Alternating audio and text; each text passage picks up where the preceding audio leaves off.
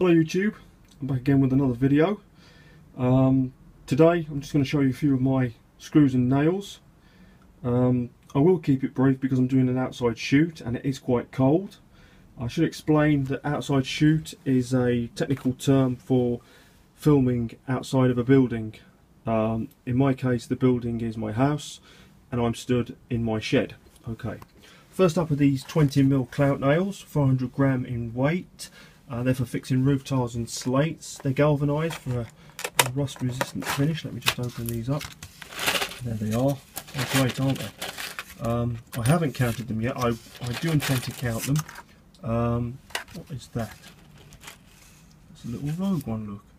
Shouldn't be in there. Hmm.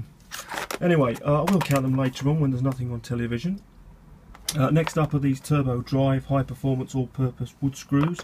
Uh, 5.0 times 50 millimeter PZ2s, 10 times 2 inch, 25 in a pack. They're great. Uh, next up are bigger brother of those. These are the 6.0 times 60 millimeter PZ3s, 12 times 2 3 eighths, 25 in a pack. They're, they're the business. They're the big boys, aren't they? Uh, moving over here, uh, we've got the Turbo Drive 4.0 times 25 millimeter PZ2 uh, 8 times 1 inch. There's 200 in a pack of those because they they are a lot smaller. I don't know if you can see that. An awful lot smaller. Hmm. They basically all do the same job, um, but you know, varying sizes. Um, if I had to choose a favourite, I'd probably say uh, the old 6.0 times 60 millimeter PZ3s, 12 times 2 3 eighths. Uh, simply for the reason they're incredibly versatile. Um, this is the old favourite. I've had this box for years and there's all you know separate compartments in it for um, putting different size ones in. Um, having a bit of a battle to open it with one hand. There they are. I've used quite a lot of those as you can see. Again, a rogue one. Don't know where that's come from. That's that's that's upset me a little bit. Um, yeah, a little bit of fluff. Not good. Bit of insulation tape as well need to sort this out really need to sort this out but I'm, I'm running low on these little fellas here. Uh, the 0.608 I don't know what I've used so many of those on. Um, prepare to be dazzled. This looks like an ordinary case. Get ready for it. There's more on that side. Yes look at those. They're of the smaller size. Um, I don't use a lot of these.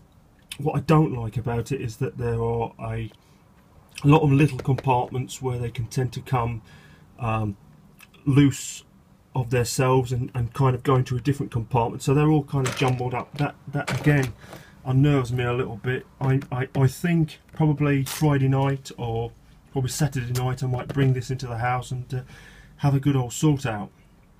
And last but not least, um, again, a little jamboree of um, screws and nails. Put my hand in here. Um, if you're wondering what kind of bag it is, it's just a standard um, sandwich bag. I think I bought them as a pack of 100 from Wilkinson's. Um, and they're just oddments really, things that I've picked up along the way, doing DIY over the years and uh, you know, have a look, you know, in no kind of order. That's the way I roll. I'm a, I'm a little bit of a maverick. Okay, so um, more or less um, probably will show you some more of these as time goes on. Um, I've got loads more, um, but like I say, it is really cold and uh, you know, I do want to get indoors. Um, I've got three episodes of Monk uh, on my Sky Plus that I want to catch up with as well. Okay, until next time, thanks a lot. Goodbye.